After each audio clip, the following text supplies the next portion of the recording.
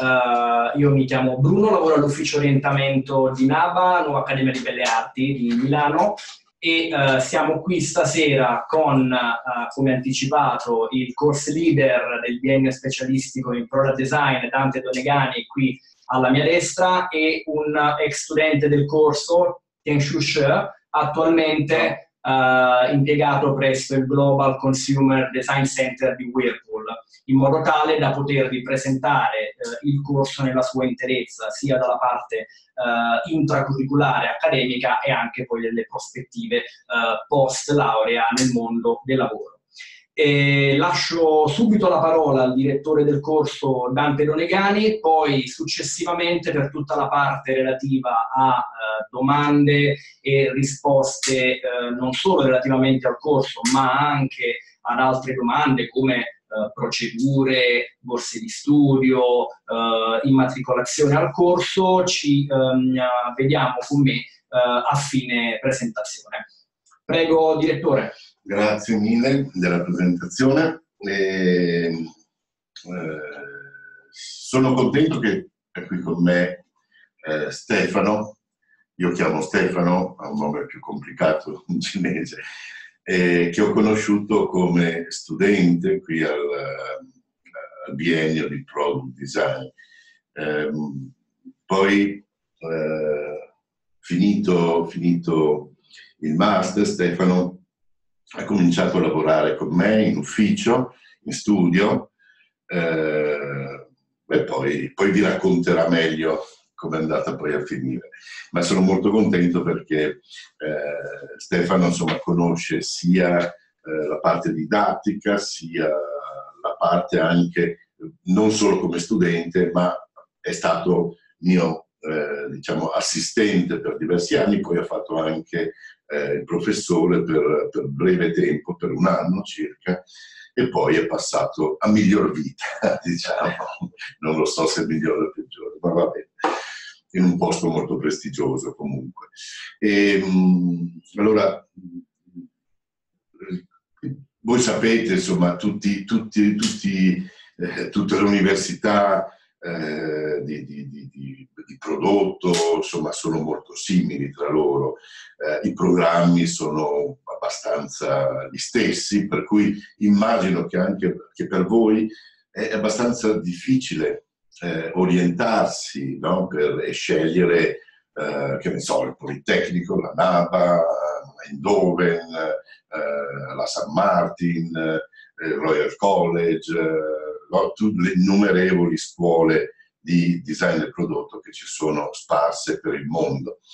Eh, sono tutte buone, non lo so tutte, ma insomma gran parte sono assolutamente eh, buone scuole, buoni, buoni master eh, e hanno tutte, tutti dei programmi molto simili. Voi leggerete le materie, cosa sono? Eh, storia del design, eh, design di prodotto, materiali, tecnologie, eh, brand design, eh, design management, interaction design, design dei servizi, eccetera, eccetera. No? Cioè, tutti, più o meno tutte le università hanno dei, dei corsi molto, diciamo, almeno come titoli, insomma, molto simili, ma devo dire anche come contenuti, insomma, eh, tutte le università, insomma, eh, il, la storia del design è quella che è, certo qui siamo in Italia eh, e, chiaramente, eh, come voi sapete, eh, l'Italia, in particolare siamo anche a Milano,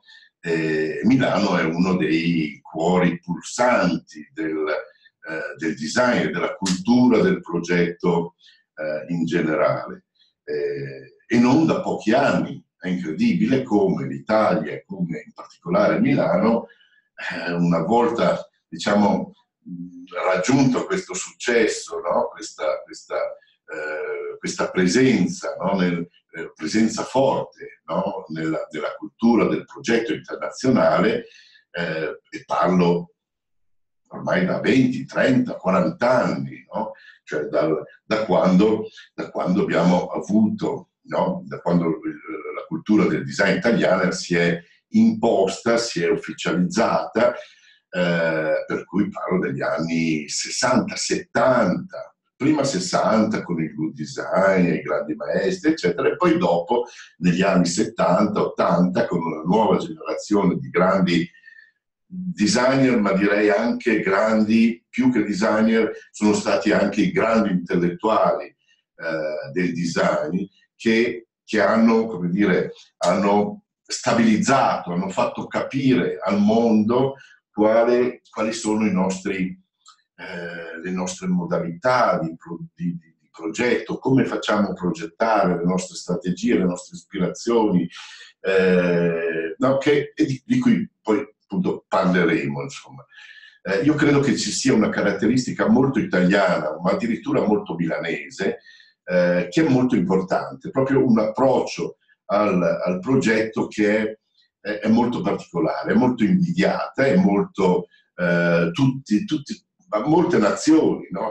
gli stessi cinesi, no? cercano di capire, perché sono bravissimi, sono dei progettisti che hanno dei background pazzeschi, magari anche molto più, più interessanti e più, eh, eh, più, approfonditi anche in termini tecnici dei nostri, però ecco, eh, io mi ricordo anche Stefano quando faceva l'università, era molto era appassionato di cioè, cercare di capire qual è, quali sono i nostri processi mentali Qualcuno dice che vengono da Leonardo, dal Rinascimento, tutte cose del genere che insomma io ci credo poco.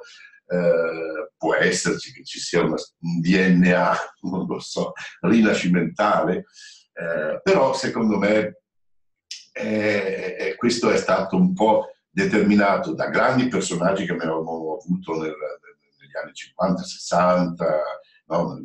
dal dopoguerra fino agli anni 70 e parlo dei grandi guru del design, da, da, da Castiglione, Mangiarotti, Magistretti, eh, Ettore Sozzas, Marco Zanuso, eh, chi altro, tantissimi altri, eh, tutti i grandi, grandi eh, designer che hanno collaborato con le grandi aziende che hanno fatto il design italiano, eh, la Olivetti, magari molti di voi non so quanti anni avete, ma eh, magari non, non l'avete quasi mai sentita.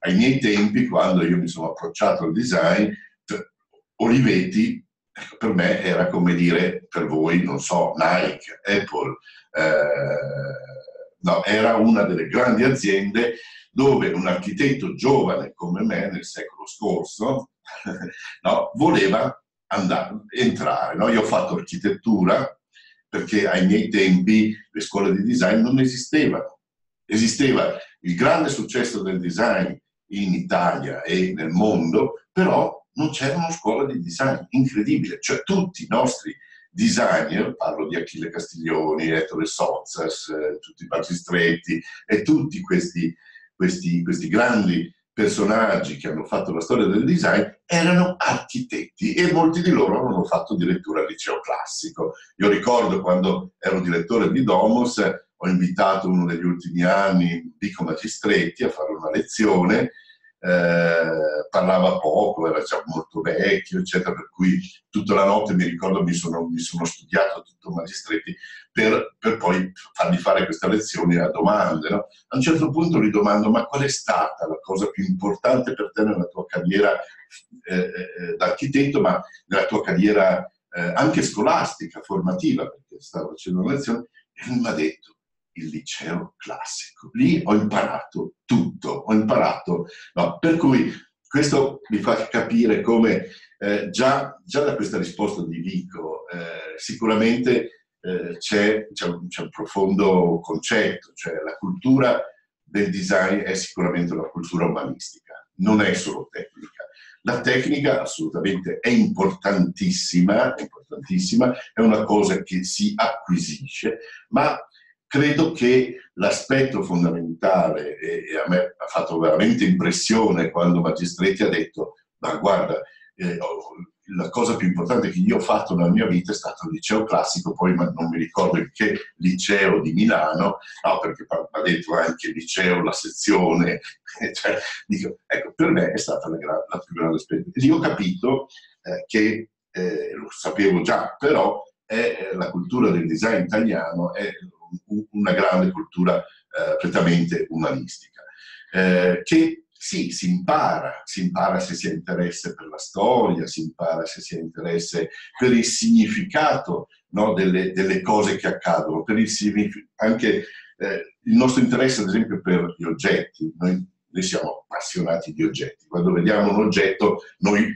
eh, vediamo che uno porta un orologio, così capiamo, già capiamo che tipo è, cioè leggiamo le persone, le cose eh, attraverso gli oggetti che possiede. No, questa è una deformazione professionale, probabilmente come un dottore ti guarda gli occhi e dice vabbè, tu magari ti manca un po' di ferro.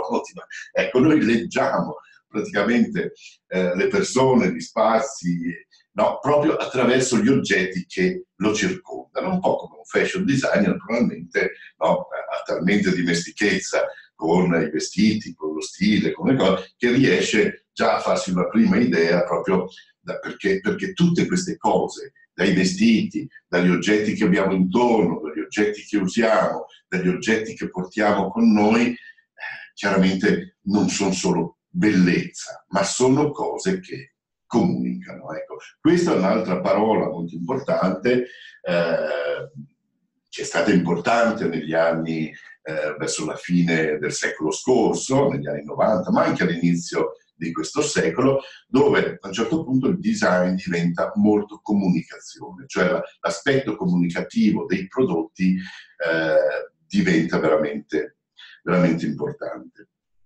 Eh, adesso io sto andando un po' a, a, a ruota libera, eh, stavamo parlando di Olivetti che nessuno probabilmente pochi conoscono. Io ho lavorato tanto anche in Olivetti, subito dopo il mio master, eh, dopo architettura, poi sono venuto a Milano, affascinato da, da, da, dal mondo del design in quegli anni, perché l'architettura era, era, era molto era un po' in stand-by, l'architettura moderna non riusciva ad uscire dal, da, da, un discorso molto razionalista, molto moderno. No? Quando parlo di moderno parlo eh, della modernità. La modernità un, eh, qualcuno dice che è nata con la rivoluzione industriale e è finita diciamo negli anni eh, boh, 70 circa. No?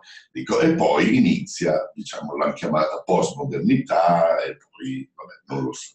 Per cui quando parlo di modernità parlo di quel grande periodo che nasce essenzialmente con eh, le prime grandi scuole di, di, di prodotti, di, eh, diciamo di progetto, che sono, che conosciamo tutti, eh, no? la prima grande scuola che affronta no? il pro, prodotto industriale, è la, eh, la Bauhaus, no? Eh, degli anni venti, una scuola, eh, una scuola fondata da, da, da Gropius, e da altri, e da altri professionisti, dove, dove eh, che si rendevano conto, sto, sto, andando un po' troppo, sono un po' largo per descrivere, per descrivere ma non importa, io, io, vado così perché sono tutte cose che c'entrano molto con, nostra, con il nostro biennio. Eh, dicevo, eh, il, il, design ha 100 anni, non, non tanti di più, no? non è come eh, per cui la storia del design non è che parte dagli egizi. Sì, De Fusco dice che il primo prodotto eh, eh, industriale è l'invenzione di Gutenberg della stampa, eh, ma così è un po' paradossale, però diciamo la storia del design inizia, inizia praticamente poco prima della Bauhaus. La Bauhaus è una grande scuola che si rende conto che deve, deve rifondare, deve fondare eh, le estetiche, i linguaggi, le modalità, eh, i processi del, intorno al prodotto industriale. Eh, uscita una coccinella. Ah, ah, il logo della sì, È una coccinella? Sì, sì. Eh, per cui eh, eh, la storia è cortissima, è cortissima, no? la, la, la, storia proprio del, del prodotto industriale. Cosa, la Bauhaus cosa dice? Noi dobbiamo rimescolare le carte, dobbiamo chiamare artisti, dobbiamo chiamare eh, architetti, dobbiamo chiamare designer, artigiani, eh, scultori, ballerini, danza, no? mescoliamo tutte le arti per capire eh, e per contaminare no? tu, la, la, proprio questa, questa, disciplina, il prodotto industriale, era una cosa totalmente nuova. Prima i prodotti si facevano, si facevano a mano, si facevano in maniera artigianale. Eh, con, con la rivoluzione industriale si incominciano a produrre con le macchine fatti in serie. Però il linguaggio all'inizio non era cambiato, no? si continuava ad usare delle modalità mo- del prodotto artigianale, per cui il decoro, per cui eh, ehm, certi linguaggi appunto pre-industriali e che venivano cercati, che, si, che venivano praticamente applicati anche ai processi industriali. Questo comportava un, un disastro, perché è impossibile all'inizio della, del, del, dell'attività industriale con le prime macchine, eccetera, di produzione di serie, no, riuscire a, a, a, a, usare quegli stessi linguaggi estetici. Era costoso, era, era, era, superfluo, per cui lì le prime teorie, vi ricordate, Ornamento e delitto di Adolf Loos, eh, poi Less is More di qualcun altro, insomma, cioè ci sono state tutta una serie di dibattiti di dichiarazioni, di battaglie, battaglie tra intellettuali che dicevano ma no, ma come prodotto industriale è terribile, no? azzera tutti i linguaggi, le estetiche, la ricchezza del prodotto eh, artigianale, l'unicità del prodotto, del prodotto artigianale. E, e invece poi, insomma, questa cosa è andata avanti. Poi, come sapete, ci sono state le guerre, ci sono stati degli eventi anche disastrosi, eh, molti intellettuali sono, sono, scappati, sono andati negli Stati Uniti, in Inghilterra, eccetera, per cui tutta questa, questa, cultura che la Bauhaus, la Repubblica di Weimar aveva eh, portato avanti, c'è una specie di interruzione proprio determinata dalle guerre, eccetera. Ma tutto il discorso viene ripreso poi dopo, dopo dopo la, la, la, seconda guerra mondiale, con altrettante grandi scuole, per esempio la scuola di Ulm, eh, no, che ripete un po' i percorsi della Bauhaus in maniera molto più applicata al, al, al prodotto e anche molto vicino all'industria, Googlot e compagnia bella. Eh, poi vabbè, forse conoscerete Dieter Rams, che era proprio la scuola di Ulm, era un grande rappresentante poi di tutto quel, quel pensiero. La scuola di Ulm inventa i nostri oggetti eh, tecnologici neri, no? il linguaggio della tecnologia è nero. Queste sono delle invenzioni che abbiamo inventato noi, no? cioè proprio per dire l'oggetto tecnologico, l'high tech deve essere nero. No? Questo fanno le grandi scuole, le grandi scuole di pensiero, eh, inventano il futuro delle cose. No? Eh, Ulm, Ulm ne ha inventate tantissime. No? E poi avanti, poi c'è stato il design, il design, americano, poi c'è stato il design tutto del nord Europa, eh, importantissimo, no? le, grandi, le, grandi, culture del, del nord Europa, tedesco, ma anche svedese, eccetera. E poi il design italiano.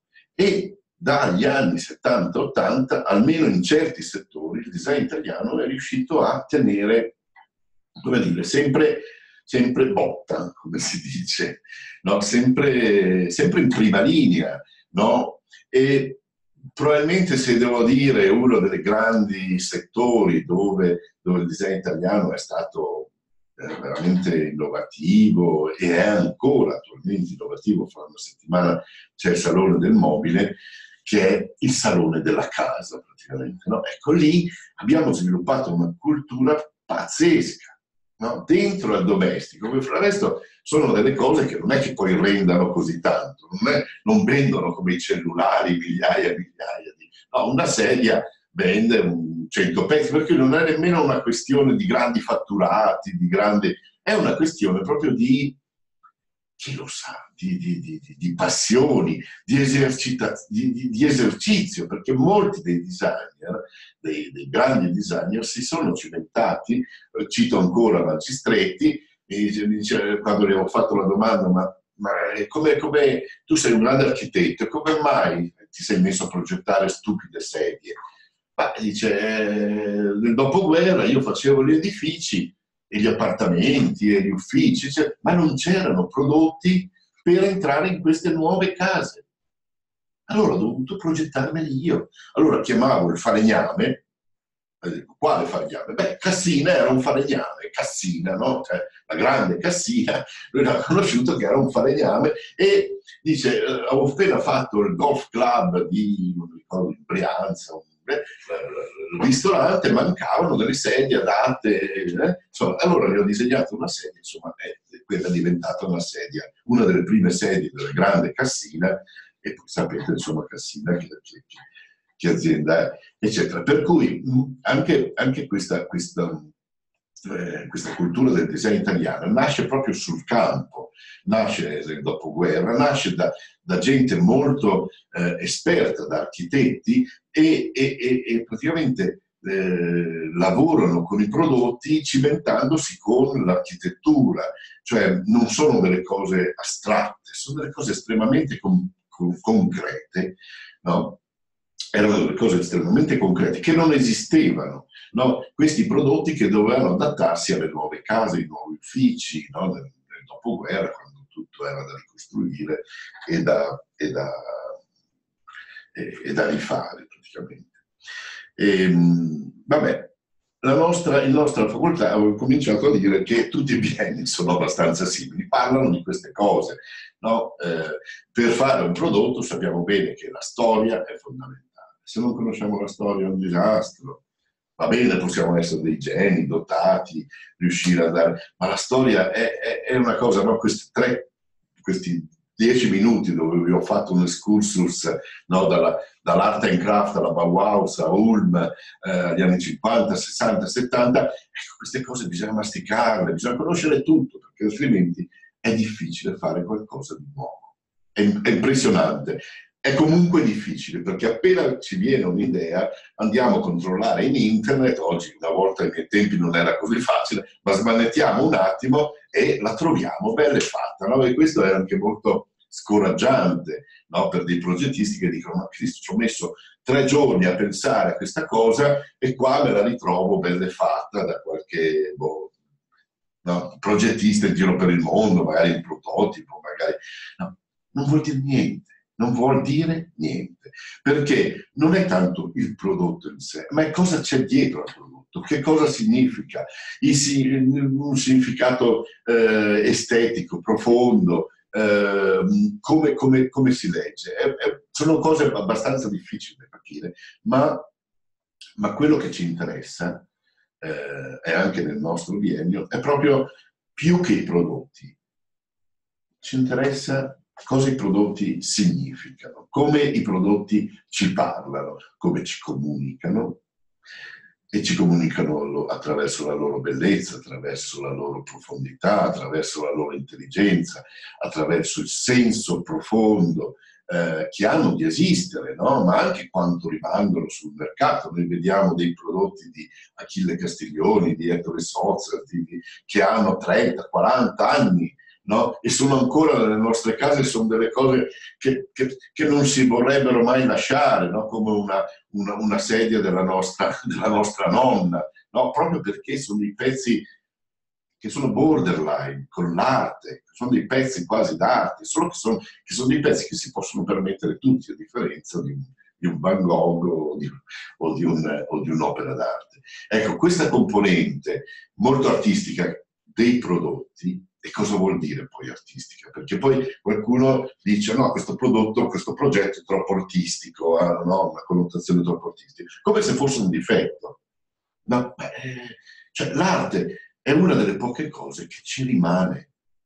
No? Se voi andate indietro e, dire, no, e pensate alla storia, cioè, veramente le cose che prime che vengono in mente sono tutte quel mondo superfluo che appartiene al mondo dell'arte No? Non sono le, le, cose funzionali, eh, non sono le cose, ma sono veramente tutte quelle cose inutili, cioè solo per lo spirito, solo per cioè, e sono le cose che al mondo poi rimangono nei secoli e nei secoli e nei secoli. Ecco, il design è anche altro, il prodotto no? questi sono prodotti belli che funzionano, eccetera, però insomma se vedete anche eh, no, un iPhone insomma, è un prodotto che ha fatto, che ha avuto un'innovazione, no? che ha, ha procurato delle innovazioni incredibilissime.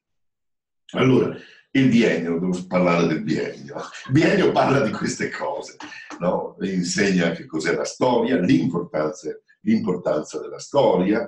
Eh, sto cercando di far andare avanti qualche progetto, ma non sono... Facciamo progetti anche molto più belli di questi. Eh? Questi sono dei, degli, degli, degli, stupidi progettini, ma anche molto intelligenti, ma vediamo delle lampade, vediamo del, del vabbè, qua ci sono parecchie lampade, ma ci occupiamo diciamo un po' di tutto.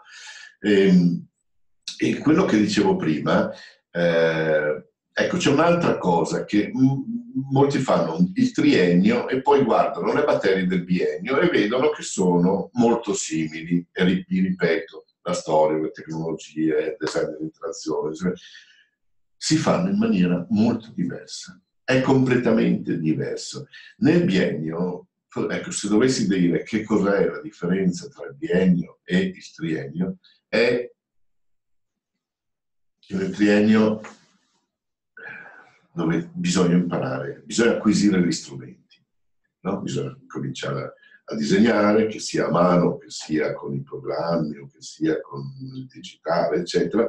Bisogna imparare quali sono i materiali, bisogna fare un po' di storia in maniera anche un po' nozionistica, bisogna eh, insomma imparare come, come le, le, scuole elementari quasi, no? dove prima di comporre una poesia no, si comincia a imparare a scrivere prima le lettere, poi a metterle assieme, poi eh, una sintassi, poi si comincia a leggere, eh, a studiare diversi autori e poi si comincia a comporre piano piano, eccetera. Ecco, il biennio è un po' come se tutti questi strumenti, in fondo, diamo quasi per scontato che uno ce li ha, il che non è vero, perché anche nel biennio poi dobbiamo tra le righe insegnare proprio degli strumenti magari più sofisticati, eh, programmi, ma la storia, la stessa storia è, è, è, è molto diversa. Da, cioè, è chiaro, gli, gli, eh, gli, eventi sono gli stessi, ma tutti i collegamenti con, con eh, la storia del design, con la storia della società, eh, con le grandi crisi, con le problematiche economiche, eccetera, per cui si va a vedere molto di più il perché a un certo punto, negli anni 70, viene fuori, beh, ci sono immobili di plastica negli anni 70 del secolo scorso, incominciano i mobili di plastica. Perché?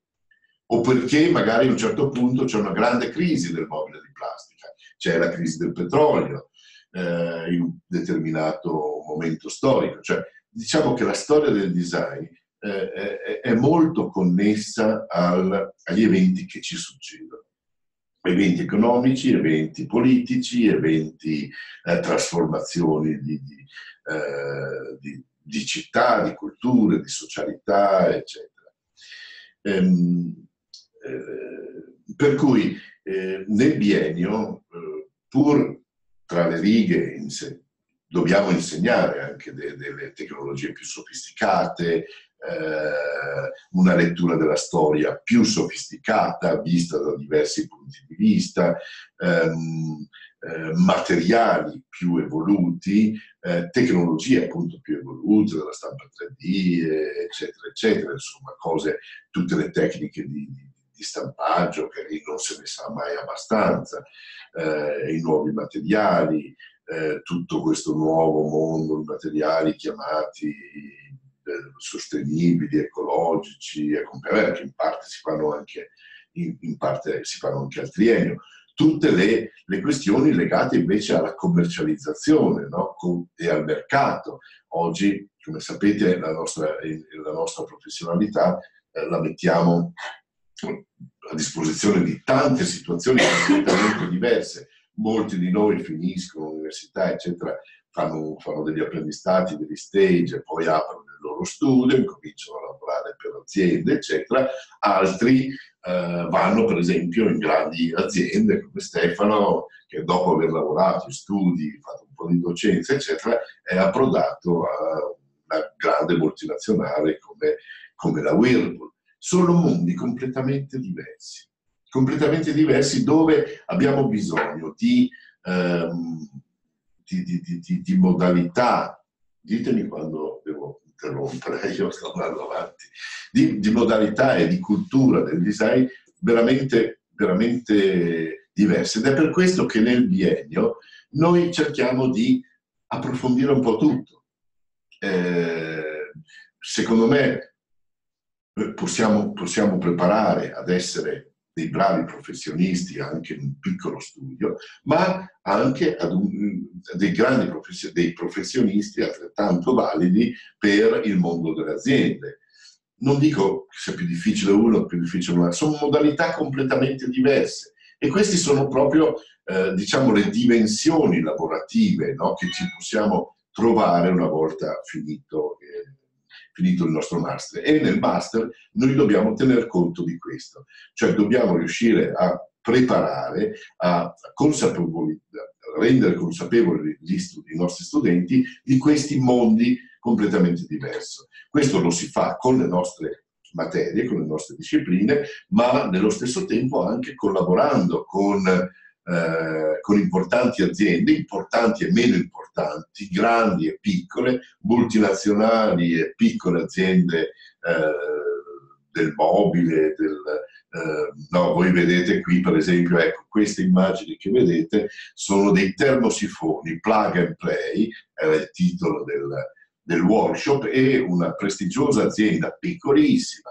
no? che però è, abbastanza famosa nel mondo del design e soprattutto nel mondo dei termosifoni, perché poi insomma, i termosifoni non sono degli oggetti così meravigliosi, sono degli oggetti che nascono tecnici per far scorrere dentro l'acqua o altre sostanze e riscaldare i nostri ambienti. No? Tubes eh, diventa abbastanza famosa mh, proprio perché ha incominciato a lavorare con eh, progettisti interessanti eh, e, e, insomma io li ho contattati e loro sono stati felicissimi, vediamo forse qua c'è, ecco, ce ne sono degli altri qui, no, felicissimi di lavorare con noi sul mondo di un... Eh, questi sono degli oggetti semplicissimi, di solito bruttissimi se voi andate, vabbè non voglio fare nomi, ma insomma nei grandi magazzini trovate questi piccoli termosifoni per scaldarsi, mettersi vicino, diciamo per integrare eh, i nostri sistemi di riscaldamento, magari nelle mezze stagioni o nel bagno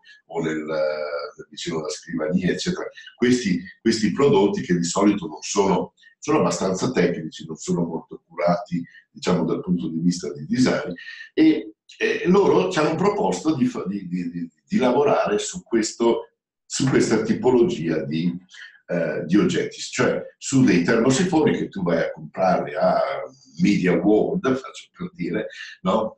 con un costo anche abbastanza contenuto, arrivi a casa, eh, l'attacchi alla spina e ti fa, no? ce ne sono tantissimi tipi con tantissime eh, tecnologie, la sabbia, la resistenza ad acqua, eccetera, eccetera e, e ci siamo messi a lavorare su questa cosa. Questo per esempio un, sono alcuni dei modelli eh, elaborati dagli studenti, vediamo ecco questo, che è questa specie di... questo se non sbaglio era un ibrido, era un termosifone ma nello stesso tempo era una lampada, dico bene, una lampada che illuminava con questa concavità eh, interna che metteva appunto una luce, tu potevi mettere in un angolo, eccetera, per cui aveva questa doppia, secondo me, molto interessante, perché questi oggetti non è che sono di, di solito molto belli e poi insomma fanno solo caldo, no? Se, eh, arrivando l'energia, questa ragazza ha pensato che eh, potesse, con poco si potesse anche integrare tutta una, una circonferenza di LED con, questo, con questa concavità eh, in policarbonato, non mi ricordo dove o panina, e potesse mettere anche una sorgente luminosa, una sorta di economia no? di, di, di, funzioni, i, i, ibridando appunto un oggetto eh, con un altro, una, una, funzione con un'altra. Eh, no, aspetti, ce ne sono degli altri, qui altri, questo invece è sempre, un, sempre con la stessa azienda, eh, un, un, un una specie di attaccapanni, questo cos'è? Un portasciugamani fatto che si poteva, mi pare, piegare, per cui anche molto eh, compattabile, perché, anche perché questi oggetti non si usano tutto l'anno, insomma, non si usano magari nelle mezze stagioni, in periodi particolari, e questi, questi quattro pali erano incernierati in una maniera eh, tre pali, uno, due, tre, sì, eh, interessante che praticamente si compattavano e diventavano queste quattro barre eh, compatte proprio per, per sistemarle eh, in un armadio, eccetera. Questo era un, erano due fogli molto raffinati, molto eleganti. Questo era uno studente thailandese, cos'era? Sì, Big, Big, sì, carino, bravo, molto elegante, molto raffinato. Questa era una specie di termosifone, anche questo molto che si piegava e, e, e, e si compattava e si poteva eh, continuo a sbagliare, tastino, sono un po' Andy. Eh, questo, questo, è incredibile, questo visto questa azienda l'ha fatto molto simile, mi hanno detto adesso. Questa era, era un, una specie di grande... Voi forse conoscete questo mega computer, questo della Apple, no? è molto simile come, come, come, oggetto, per cui è questo bombolone no? con questo, questo, uso della tecnologia eh, ad aria, mi sembra, eh, resistenze ad aria che emette questa, questa luce. Eh, questo è un altro, io l'ho messi assieme proprio per tenere, per far vedere no? un piccolo caso di un, eh, di un workshop che poi è durato? Due mesi. Ecco, questo ad esempio è uno dei, dei workshop che in prodotto 2 eh, faccio normalmente, cioè eh, prodotto 2 è una delle, delle, materie più importanti, è il secondo anno, cioè il quinto anno, c'è scritto, ma è il secondo anno del biennio, cioè l'ultimo anno dove appunto cominciate anche i miei studenti cominciano per la tesi e diciamo che è l'ultimo esame importante, a 12 crediti, eh, eccetera. E qui da anni cosa faccio? Invece di fare un prodotto così semplice come questo, io di solito eh, do, due, do, due, grandi temi. Uno, un, prodotto, una, un progetto spesso con un'azienda piccola, molto semplice, un progetto classico, no? per ieri, per domani, per dopodomani, insomma, no? cioè un progetto che deve essere molto realistico, per questo chiamo spesso anche un'azienda. Eh, in questo in questo anno, non mi ricordo due o tre anni fa, due anni fa, tre anni fa, ho appunto chiamato la Truves ed è incredibile perché io ne contatto diverse aziende, però ho voglia di aziende che poi hanno voglia di lavorare veramente con noi, apprezzano la nostra creatività, la cercano, cercano appunto idee nuove, eccetera. No, questo è, è, ecco, questa è l'esperienza in, Produ- in Product 2 la più piccola, no? la più normale, proprio veramente good design, classico, quello che potrebbe fare chiunque di noi quando ci approcciamo ad un'azienda del mobile o, del, un'azienda delle dimensioni italiane, un'azienda design oriented di dimensioni italiane. E, e questa è la prima esperienza e che facciamo in contemporanea in Product 2. La seconda invece eh, diamo sempre, do sempre un tema estremamente innovativo no? una cosa, eh, e in quegli anni mi ricordo che lavoravamo ancora con Whirlpool, no? dove ho, poi eh, Stefano eh, è andato a lavorare. E con Whirlpool eh, affrontavamo una tematica facevamo, eh, poi vi faccio vedere qualcosa, forse qua indietro. Ecco, per esempio questo era un prodotto di Whirlpool e anche questi, eh, dove il concetto era lo spostamento di, eh, di, di queste grandi multinazionali da, dai prodotti che voi conoscete bene, la lavatrice, il forno microonde, il forno, eh, il, il, fuochi, eh, la, la lavastoviglie, il frigorifero, eccetera, che è un mondo che esiste, che continuerà ad esistere, però ci diventa sempre più difficile. No? Voi sapete la competizione tra la Whirlpool la Samsung, la um, Electrolux, la... adesso poi Whirlpool le ha comprate per quasi tutte, poi adesso ci sono le cinesi che arrivano, insomma la competizione su una lavatrice è, è pazzesca. No? Cioè, cambia un tastino, una un po' più ecologica, quell'altra consuma meno, eh, i prezzi sono, sono cioè, dico, il design insomma, c'è, non c'è, insomma, no? Per cui tutte queste grandi aziende pensano un domani dove vado a sbattere, no? Perché non posso continuare probabilmente un domani la, mia competizione con questi quattro oggetti. Fra il resto sapete molto bene, e poi magari Stefano lo spiegherà ancora meglio, come questi oggetti hanno un processo così lento, un'evoluzione lentissima dove cambiano una cosina, no? perché cambiare qualcosa significa cambiare delle catene di montaggio eh, difficili. Cioè, ecco, la relazione nostra con un'azienda del genere, ve lo spiegherà Stefano, è tutto un altro mondo rispetto ad una relazione con un'azienda come la Tubes, per la quale loro cercano solo innovazione.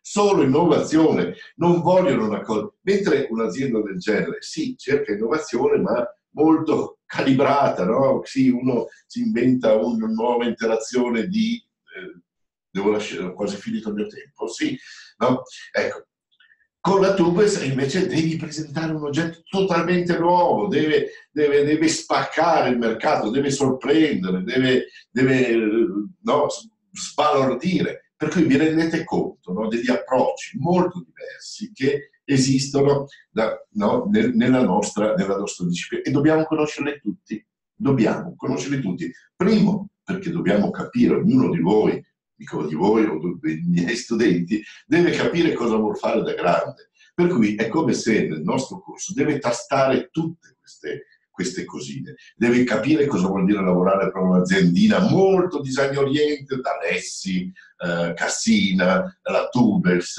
la, la, che ne so, insomma tutti i nomi che conoscete molto bene, italiani, che adesso vedrete il Salone Mobile e vi consiglio di venire perché in una settimana capite tutto quel mondo e anche altri. Però nello stesso tempo bisogna capire se, no, come, come, Stefano ad ha detto, a me interessa anche la dimensione della grande azienda, perché e con l'esperienza, ad esempio in Product 2, no, era una, un'esperienza molto schizofrenica, no? perché lavorare con Tube su un'aziendina un design oriente italiana e con il futuro della Whirlpool che si poneva il problema di non produrre più no, oggetti, ma produrre servizi. cosa vuol dire per un'azienda del genere mettersi a produrre dei servizi, delle joint venture? Con, eh, no, per cui l'esempio che facevano della Whirlpool per dirci a cosa loro tendevano e cosa pensare per il futuro di questa azienda erano le cialde della Nestlé. Dice, la macchinetta, ormai te la regalano, no? se, se, consumi un po' di cialde te la regalano. No? Per cui la competizione futura sarà sulle cialde, non sarà più sulla macchinetta, no? per dire i pensieri. Ecco, pensare a ad un'azienda come la UE, però in termini di servizio è tutto un processo, questa è veramente ricerca.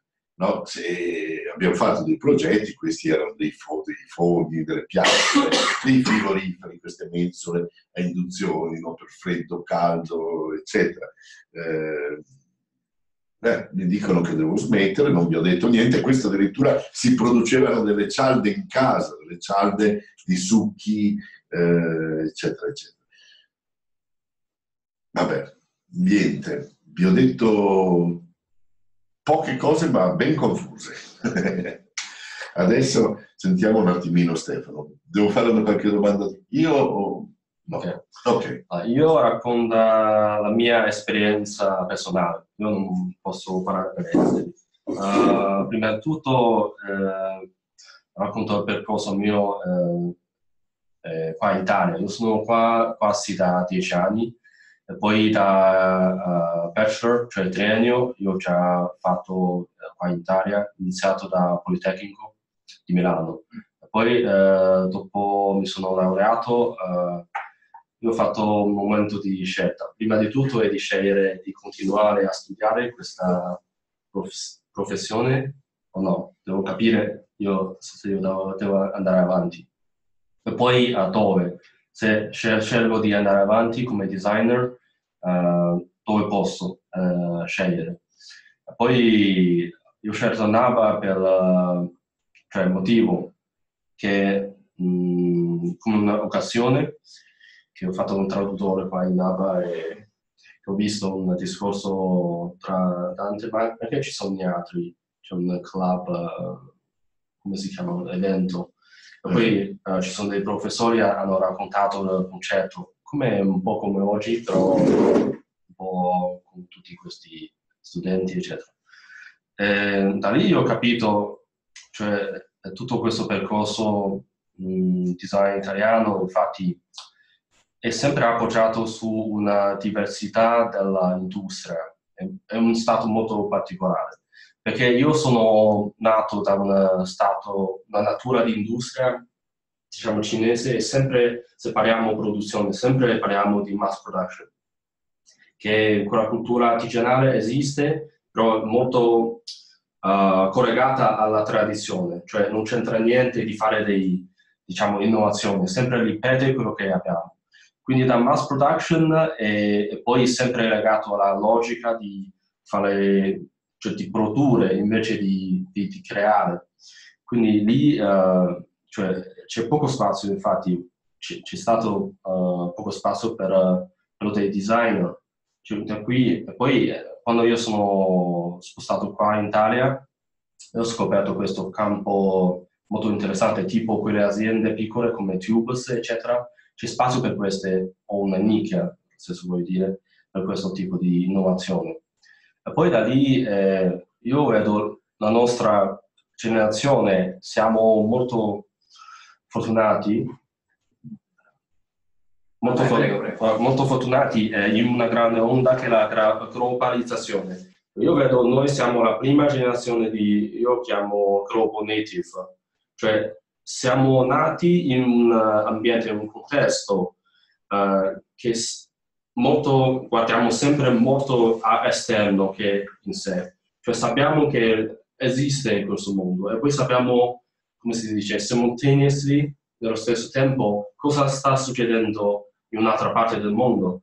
Per cui eh, per nos- la, la nostra generazione, infatti, c'è meno, diciamo, diversità differenza tra diciamo, la, la uh, nazionalità che, uh, che la differ- differenza tra uno italiano che ha, non lo so, 50 anni e uno che ha 20 anni.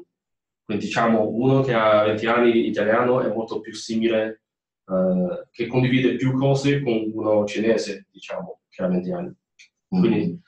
è, è tutto questo processo. E poi ha cambiato tutta la natura dell'industria cioè prima come una grande industria come Whirlpool, diciamo, prendiamo come un esempio.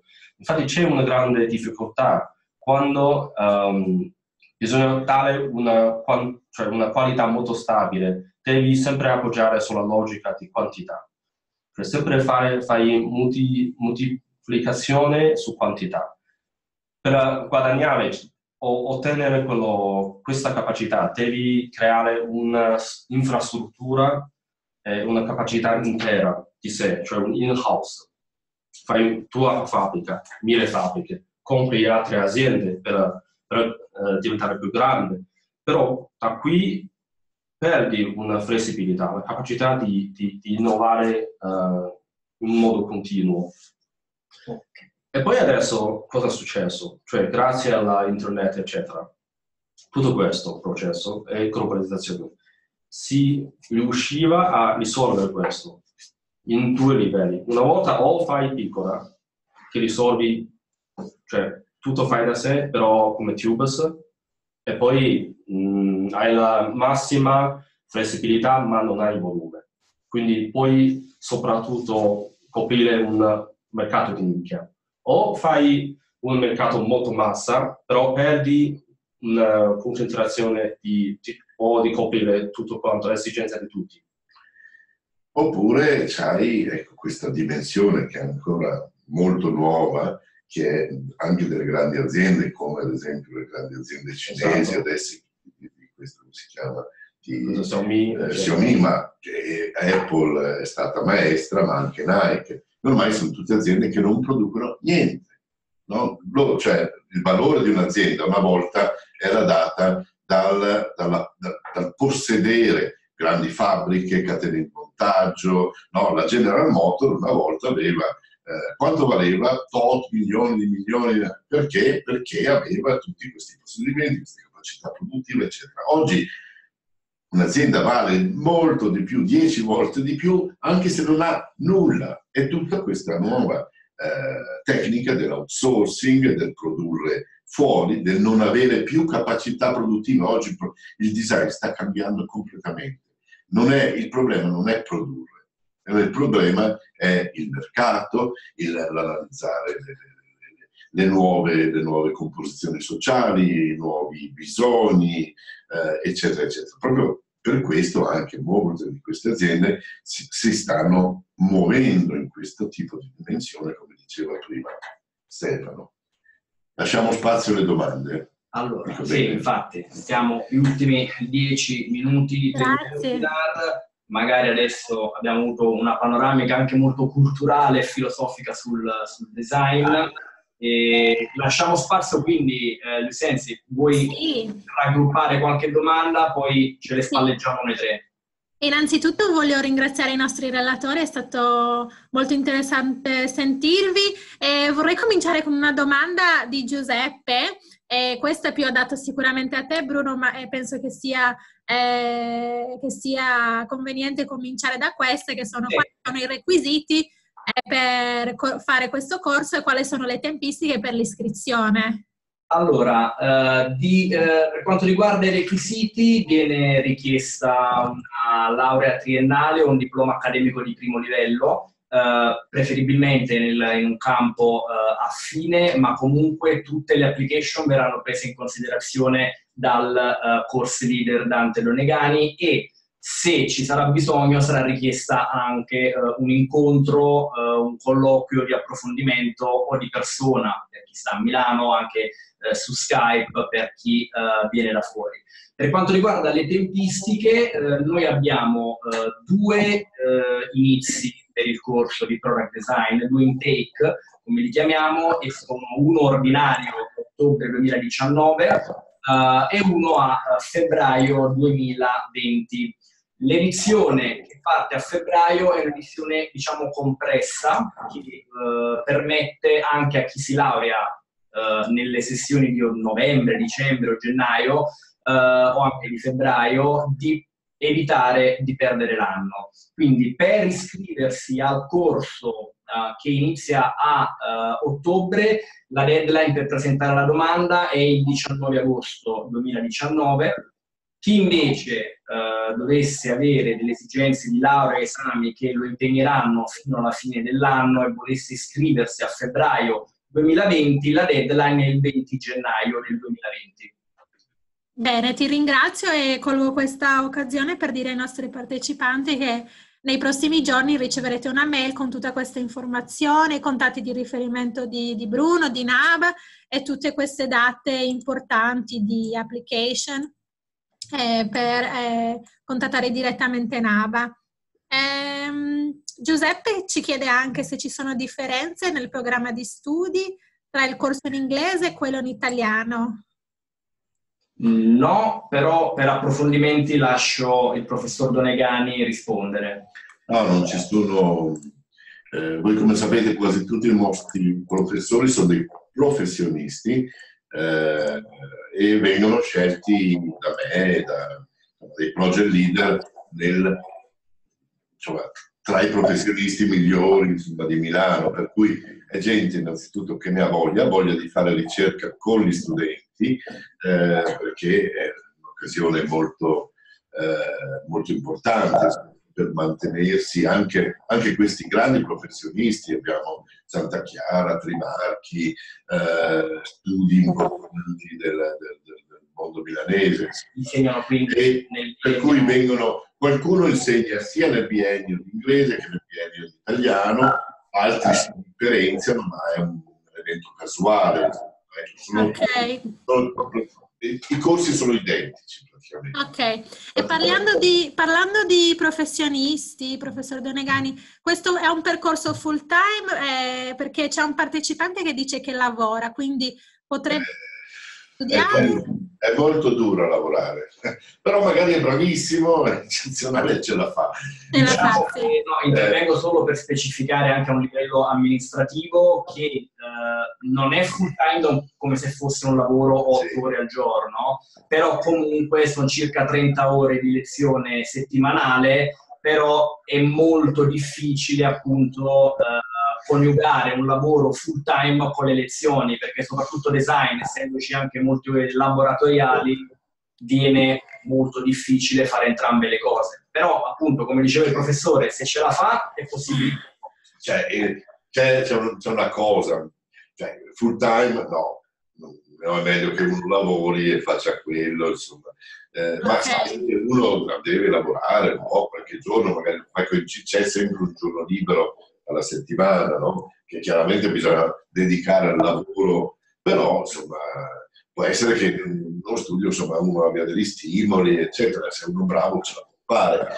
Eh, c'è da dire che quasi tutti i lavori si fanno in gruppo, pertanto essere presenti no, al momento dell'istruzione, del brief, del, del workshop, organizzarsi con i, con i, propri compagni di gruppo, poi uno magari non c'è eh, durante la revisione, eh, lavora, però magari può produrre comunque a casa, eccetera. Insomma, dipende, è un po' dura, ma se non è un lavoro full time magari ci se la può fare. Bene, questo è importante sapere. Eh, eh, Bruno, c'è una domanda riguardo eh, il costo del biennio, una domanda di Deborah e c'è un'altra riguardo le borse di studio. Quindi ho aggruppato questi, questi due argomenti da, da, da, spiegare ai nostri partecipanti. ok, allora la retta annuale del biennio, eh, così come di tutti i bienni NABA, è di 11.500 euro. E per quanto riguarda le borse di studio, proprio in questo periodo è aperta una competition di borse di studio basate su un progetto. Eh, ognuno dei nostri bienni ha un bando con un brief eh, diverso, bisogna presentare un elaborato attenendosi alle indicazioni del bando. È possibile presentare la domanda di partecipazione al bando di concorso entro il, uh, fino al 10 maggio, quindi ancora un mese abbondante. Uh, sul sito NAPA, uh, nella, nella, pagina delle agevolazioni economiche per i corsi uh, dei bienni specialistici, sono elencati tutti i bandi di concorso per tutti i bienni, quindi appunto vi consiglio anche di fare riferimento a questa pagina perché lì trovate tutte le informazioni sia sulle borse di studio, sugli importi che variano da un 20 a un 60% di riduzione della retta annuale e poi anche tutta la parte amministrativa per partecipare al bando. Ok. Per, per quello che riguarda, faccio veloce, il, il, corso di design, il bandolo è molto interessante, non occorre che do, non dovete avere un progetto eh, completamente nuovo che lo fate appositamente. Eh, nel bando c'è scritto, si intitola Nuove Umanità, se ancora quello, penso di sì, eh, e cosa vuol dire? Eh, vorremmo vedere dei progetti che siano un po' visionari, cioè che, che, facciano pensare a delle umanità un po' diverse da quelle che abbiamo eh, attualmente, insomma, no? cioè prodotti che siano in grado di comunicare dei valori per il futuro, dei valori positivi, dei valori anche molto diversi, perché il mondo, come sapete, è abbastanza da cambiare. Eh, sapete che non è un momento bellissimo, c'è una grossa crisi proprio di, di valori, di paradigmi, eccetera, e il progetto ha questa, questa, bellezza, questa capacità di poter immaginare dei mondi migliori. Ecco, se questi progetti ci fanno vedere qualcosa di questo, insomma, vanno bene. Ecco, per cui anche progetti che sono già fatti. Non c'è, fatemi un, una cuffia, una, un loudspeaker, un tavolo, no, può essere una scarpa, un helmet, un, un, una cucitrice, dico okay. degli oggetti che vedo per giro. Qualsiasi cosa, basta che parlino di futuro. Ok, eh, parlando di futuro, forse questo, questa domanda sarebbe, eh, dovrebbe avere il suo proprio, la sua propria presentazione. Uno dei nostri partecipanti chiede come abbinare design e sostenibilità. Stavamo parlando di valori, del futuro, come abbinare questi due aspetti, design e sostenibilità. sostenibilità. Guarda, io ho appena Questo visto... organizziamo un altro webinar. No, no, ma Esatto. veloce. Io ti consiglio di andare a vedere una mostra che è Broken Nature, qua in triennale, che parla proprio di questi grandissimi temi importantissimi e che sono proprio alla base della cultura eh, attuale del progetto. Questo si fa nel biennio. Si studiano questi nuovi paradigmi di vita, di- di- di- di- per cui è l'uomo che è al centro della faccenda. Gli oggetti sono una conseguenza. Ecco, questo ci tengo a dire, che a noi interessa l'uomo, la donna, gli animali, le forme di vita, dopodiché eh, facciamo gli oggetti per loro. Però è quasi come se disegnassimo queste persone, questi personaggi. Il tema della sostenibilità è un grandissimo tema, è molto vecchio. Io quando sento questa parola mi viene anche un po'...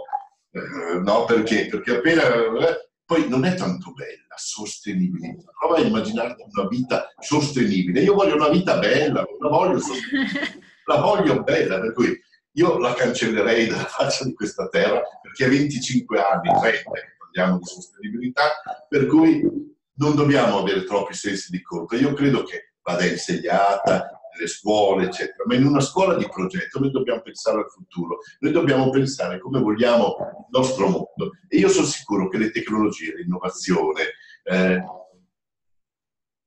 risolveranno queste faccende, perché molto spesso quando parliamo di, di materiali sostenibili, poi hanno dei problemi ancora più grossi di quelli che non sono sostenibili, cioè c'è una grande confusione, no? per cui eh, è un tema interessantissimo, ma secondo me ecco, bisogna avere una fiducia incredibile nel futuro. Ma guarda questi prodotti meravigliosi, questo l'ha disegnato eh, Stefano, eh, quel frigorifero Ah, ok. bellissimo, sì.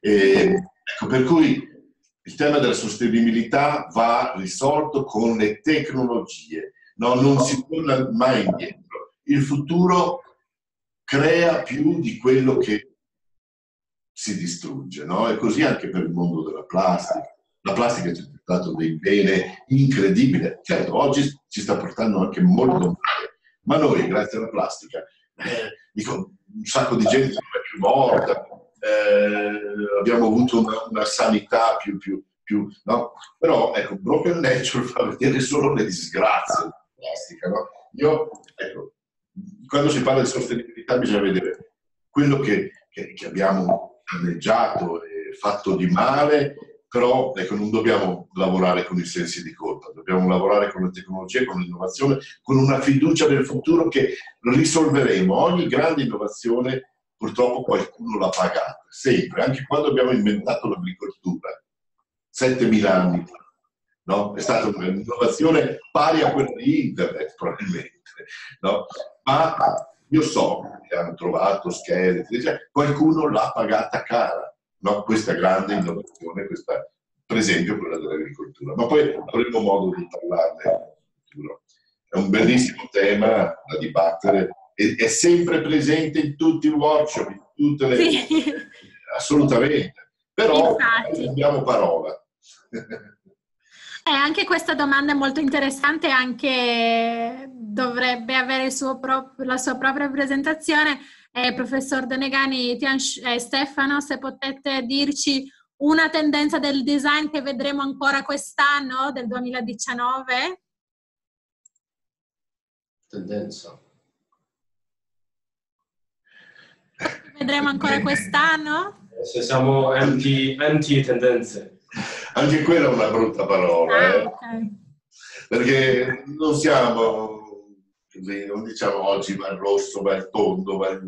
va il- eh, le, le questioni sono molto più importanti. no?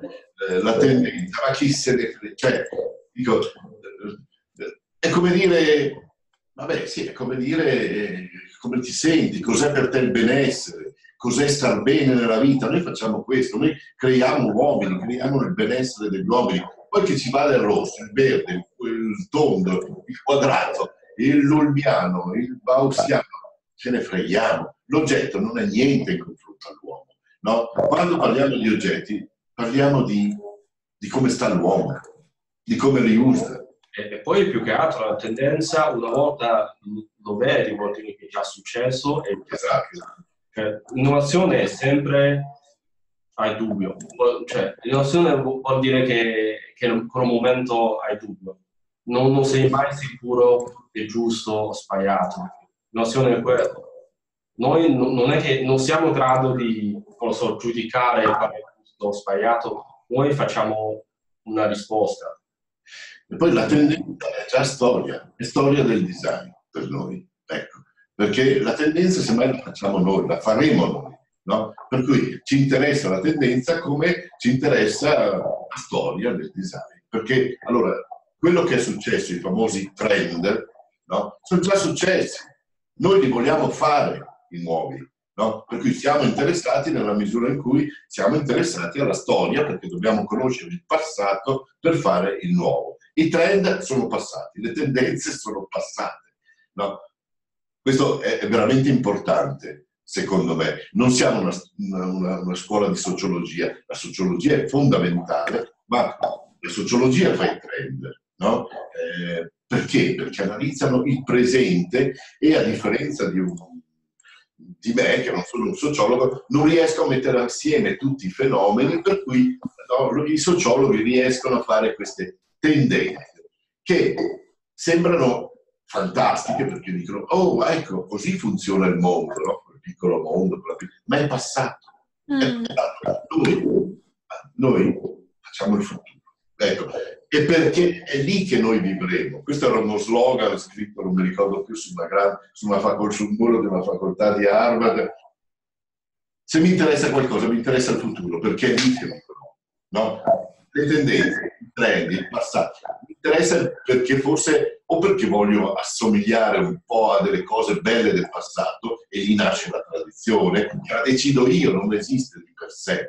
No? Il passato che va a portarmi avanti lo decidiamo noi e noi designer decidiamo anche questo ed è una grande responsabilità.